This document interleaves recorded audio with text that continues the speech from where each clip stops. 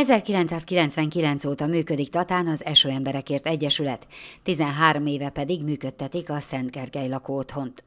Az önkormányzat és az Egyesület között kezdetektől fogva jó az együttműködés. Most dokumentum formájában együttműködési megállapodás keretében is kinyilvánították a felek, hogy továbbra is segítik egymás munkáját.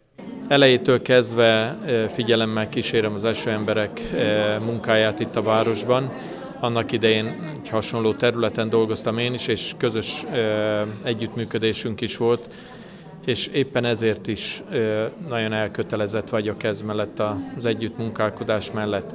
Ez a mostani megállapodásunk azt rögzíti, hogy a jövőben szeretné a város még jobban segíteni azt a munkát, amit az első emberekért alapítvány tesz, az autistákkal foglalkozók tesznek a városban, és arról szól, hogy keressük meg ezeket a konkrét feladatokat, melyek azok, amiben a jövőben majd együtt tudunk dolgozni.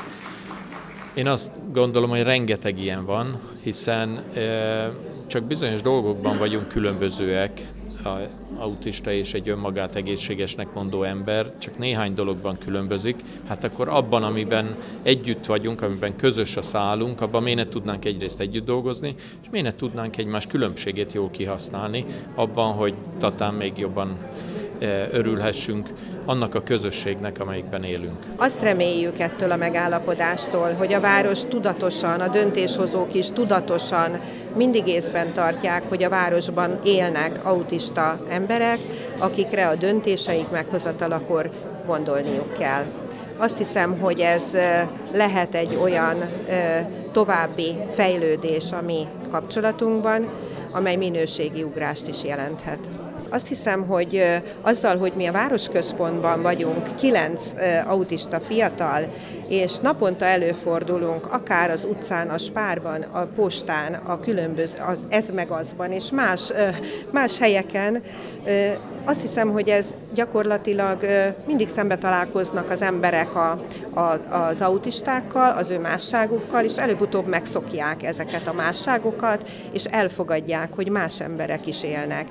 Ez lett volna a cél, hogy ez az elfogadás és ez a befogadás megtörténjen. Nyilván részben sikerül ez, hiszen az emberek hozzáállása különböző. Azt hiszem, hogy nagyon sokan, akik már név szerint ismerik a lakóinkat, akik tudják, hogy mikor merre mennek, hogyan viselkednek, ez számukra már nem meglepő, talán elfogadták őket. Bízom benne. Az Autizmus Világnapja alkalmából rendezett ünnepélyes találkozóról részletesen április 8-án szerdán magazinműsorunkban számolunk be.